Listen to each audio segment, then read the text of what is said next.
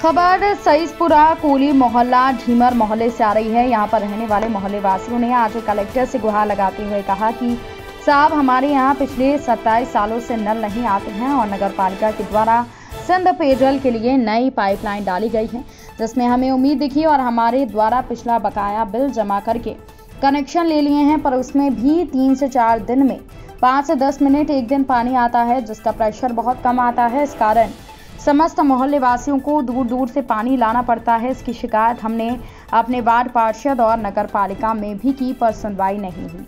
मैं साहब, नल के बारे में आया हूँ साहब। मैंने कनेक्शन लिया है साहब। मुझको तीन महीने हो चुके हैं साहब।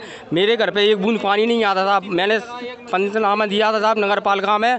उसकी प्राप्ति भी हैगी मेरे पास। और कोई सुनवाई नहीं होती साहब। सब मेरा पुराना कनेक्शन था साहब सब नल नहीं आते थे। फिर मैंने बिल नहीं भी आओ उसका भी पैसा मांग रहे हैं और जी नया कनेक्शन लिया तीन महीने से और अब भी बिल नल नहीं आ रहे मेरे। पैसे जमा कर दिया पुराना वाला?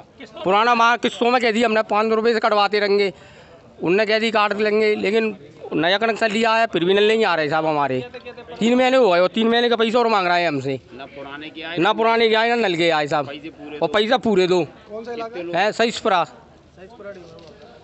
बाट कर मांग तीस बाट कर मांग तीस है। मनन मेंबर है साहब मेंबर भी नहीं सुनता मेंबर भी चुतिया है हमारा।